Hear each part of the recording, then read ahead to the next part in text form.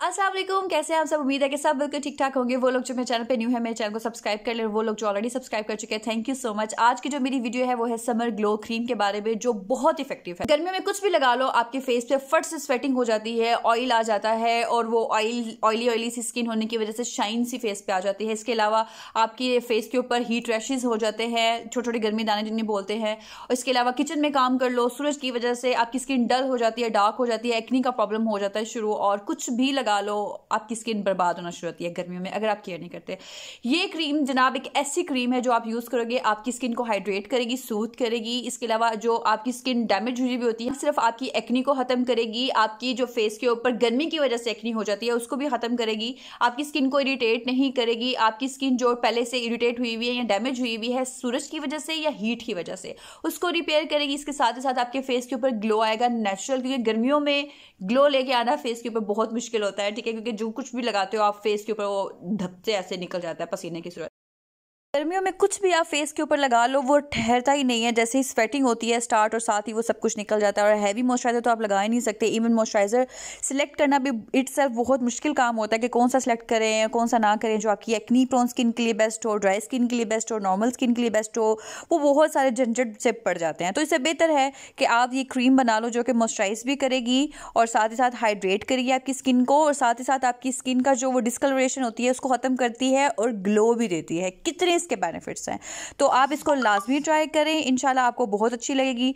तो चलिए जी, बढ़ते हैं अब रेसिपी की तरफ़। स्टार्ट करने से पहले अगर मेरी वीडियो आपको अच्छी लगी, इसको लाइक कर दे शेयर कर दे, मेरे चैनल को सब्सक्राइब भी कर दे। चलिए जी वीडियो स्टार्ट करते हैं। और आपको चाहिए होगा एक स्पून फिर आपको चाहिए होगा बोल जिसमें आपने मिक्स करना है क्रीम आपने बनानी है। फिर आपको चाहिए होगा कंटेनर कोई भी ले लो, मेरे पास ये नीविया सॉफ्ट की डब्बी खाली पड़ी हुई है। जो क्रीम मैं बनाऊँगी, वो इसके अंदर ट्रांसफ़र कर दूँगी, ठीक है? फिर हमें जो चाहिए होगा जनाब, हमें चाहिए होगा एलोवेरा जेल आपने एलोवेरा जेल कौन सी यूज़ करनी है? जो बाज़ार में इस तरह की आती है ना, आपने यही यूज़ करनी है, किसी भी कंपनी की यूज़ कर ले। आपने फ्रेश जो लीव से निकालते हैं, वो यूज़ नहीं करनी। यहाँ पे जो ऑर्गेनिक ब्रांड्स हैं ऑर्गेनिक कंपनीज़ की जो होती है हैंडमेड फ्रेश हैंडमेड वो यूज़ नहीं करनी क्योंकि उसकी वजह से आपकी क्रीम की जो कंसिस्टेंसी है, वो क्रीमी नहीं बनती। सेकेंडली वो आप उसको ज़्यादा देर तक जो है वो स्टोर नहीं कर सकते। आपको जो मैं क्वांटिटी बताऊँगी, वो आप देख लेंगे, तकरीबन आपकी टू वीक्स के लिए आराम से निकल जाएगी। अगर आप सुबह और रात को दो टाइम लगाते हो तो टू वीक्स के लिए इनफ होगी। अच्छा जी, हमें तकरीबन ये हाफ़ टेबल स्पून जो है, ये एलोवेरा जेल एलोवेरा जेल जो है, आपकी स्किन को सूथ करती है। आपकी स्किन जो डैमेज हुई हुई होती है, सूरज की वजह से, हीट की वजह से, उसको रिपेयर करेगी, काम करेगी। ये वो चाहिए रोज़ वाटर मैं यहाँ पे यूज़ करी हूँ कामी का रोज़ वाटर और हमें दो चम्मच चाहिए होगा। रोज़ वाटर जो है, वो आपकी स्किन के लिए सबको पता है बहुत अच्छा है। एक तो आपकी स्किन के ऊपर ग्लो लेके आता है ये। ठीक है, इसके अलावा जो ओपन पोर्स का आपको इश्यू होता है, उसको ये बहुत हद तक कम कर देता है। स्किन जो आपकी सूरज की वजह से ख़राब हो जाती है, सन टैन हो जाता है, उसकी वजह से ये एलोवेरा जेल और जो है रोज़ वाटर ये बहुत इफ़ेक्टिव है, ठीक है? अच्छा जी, अब इन दोनों को दो चम्मच मैंने ले लिया है, रोज़ वाटर और हाफ़ टेबल स्पून जो थी वो मैंने ली थी एलोवेरा जेल, ठीक है? अब इन दोनों को अच्छे से मिक्स करना है, मिक्स तब तक करना है जब तक ये मिल्की, क्रीमी सी फॉर्म ना बन जाए। तो ठीक है, मैं आपको मिक्स करके दिखाती हूँ कि नेक्स्ट इसमें क्या डालना है।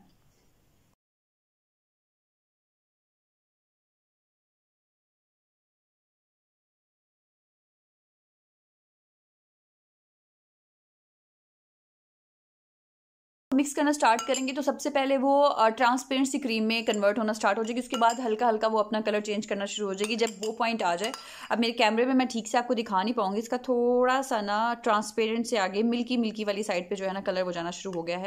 जब इस तरह स्टेज आ जाए तो इसमें आपने क्या ऐड करना है? इसमें आपने नेक्स्ट ऐड करना है वाइटामिन ई ऑयल मैं यहाँ पर वाइटामिन ई ऑयल जो यूज़ ये कामी का है, ये तकरीबन मैं यूज़ करूँगी इसमें मैं आपको बताती हूँ one two, three, four, five, six, seven, eight. Eight drops इसमें जो है वो मैं वाइटामिन ई ऑयल की यूज़ कर रही हूँ। मैंने इसमें तकरीबन आठ ड्रॉप्स यूज़ किए हैं। अगर आपकी स्किन ज़्यादा ड्राई है इवन गर्मियों में भी बहुत ड्राई हो जाती है तो आप आठ से बारह बारह के दरमियान रख के इसको यूज़ कर सकते हैं। अगर आपके पास vitamin E oil dropper form में नहीं है तो जो कैप्सूल्स मिलते हैं इवियन के, आप वो यूज़ कर सकते अगर इस क्वान्टिटी में आप बता, बना रहे हैं तो आपको एक कैप्सूल जो होगा टू हंड्रेड वाला, वो एनफ होगा। लेकिन अगर आपकी जो है स्किन ड्राई है और आप वो कैप्सूल यूज़ करें तो फिर आपको टू हंड्रेड वाले दो चाहिए होंगे, या फोर हंड्रेड वाला जो है, वो एक चाहिए होगा। ठीक है? अब आपने इसको अच्छे से फिर से मिक्स करना है, फिर मैं आपको बताती हूँ नेक्स्ट इसमें क्या डालना है मिल्की सी शेड में आना शुरू हो गया। वाइटामिन ई ऑयल जो है आपकी स्किन बहुत इंपॉर्टेंट है आपकी स्किन के लिए, ये आपकी स्किन को ब्राइटन अप करता है, जो डैमेज हुई हुई होती है स्किन उसको ये रिपेयर करता है। और इसके अलावा आपकी स्किन को मॉइस्चराइज करता है हाइड्रेट करता है। अच्छा जी यूज़ कर रही हूँ कामी का लेमन ऑयल जो कि एसेंशियल ऑयल होता है। इसमें हमने ये तकरीबन डालना है seven two eight drops lemon oil आपकी स्किन के लिए बहुत इंपॉर्टेंट है। आपकी एक्नी को ये ख़त्म करता है। इसके साथ ही साथ आपकी स्किन को ब्राइट करता है। आपको पता है, लीमू जो है वो, जो है वो ब्लीचिंग प्रॉपर्टीज़ होती हैं। तो इसी तरह इसका जो एसेंशियल ऑयल इसके अंदर भी सेम है आपने सेवन टू एट ड्रॉप्स इसमें डालने हैं। ये तकरीबन मैंने सेवन टू एट ड्रॉप्स जो है इसमें डाले हैं, इसकी वजह से इसकी खुशबू, एक तो बहुत रिफ्रेशिंग है। जब आप ये क्रीम लगाओगे ना, बहुत रिफ्रेशिंग इसकी खुशबू हो जाती है इसकी। साथ ही साथ आपकी ये एक्नी को भी कंट्रोल करेगा, जो हीट रैशेस का आपको मैं पहले कह रही थी, उनको किसी हद तक कंट्रोल कर देगा। इसके अलावा आपकी स्किन को ये ब्राइटन अप भी करता है, और जो डल हुई हुई होती है स्किन उसको ये रिवाइव भी कर देता है। अब इसको आपने अच्छे से मिक्स करना है। मिक्स करने के बाद आपने क्या करना है? इसको किसी कंटेनर में शिफ्ट कर लेना है। इसको मैं मिक्स करने के बाद कंटेनर में डाल के आपको फिर दिखाती हूँ। सारी इस कंटेनर में ट्रांसफ़र कर ली है। अब इसको लगाना कैसे सिंपल आप फेस वॉश करो, जिसके साथ भी आप फेस वॉश करते हो। और ये लेके देखिए मिल्की सी है। और बिल्कुल आपकी स्किन के ऊपर ये कोई ऑयली फीलिंग नहीं देगी। कुछ भी नहीं होगा। आपको नेचुरल एक ग्लो देगी इंस्टेंट ग्लो देगी। अब ये देखिए इसके अंदर कोई भी ऐसी चीज़ मैंने शामिल नहीं की जो कि स्किन को इरिटेट करती हो, उल्टा ये आपकी स्किन को मॉइस्चराइज करेगी, हाइड्रेट करेगी और साथ ही साथ आपको इंस्टेंट ग्लो देगी, जो स्किन के अंदर ये एब्जॉर्ब हो गई है, बहुत अच्छे से आपकी स्किन को हाइड्रेट करेगी मॉइस्चराइज करेगी, आपका जो कलर डल हो चुका हुआ है, गर्मियों की वजह से उसको रिवाइव करेगी, जो गर्मियों की वजह से दाने आते हैं, या जो भी प्रॉब्लम्स होते हैं उनको ये रिजॉल्व करेगी। समर ग्लो क्रीम ज़रूर ट्राई करें, ज़रूर बनाएँ, बहुत इफ़ेक्टिव है। और कैसी लगी मेरी वीडियो आपको मुझे कमेंट सेक्शन में लाजमी बताइएगा। अगर मेरी वीडियो अच्छी लगे, इसको लाइक कर दे शेयर कर दे और मेरे चैनल को सब्सक्राइब करते हैं मिलते अपनी नेक्स्ट वीडियो में, तब तक अपना ख्याल रखें। अल्लाह हाफिज़।